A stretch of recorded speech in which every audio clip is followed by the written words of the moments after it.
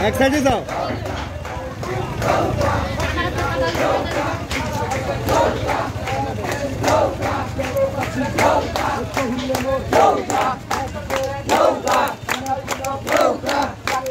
বেলকাও কোন বেলকাও না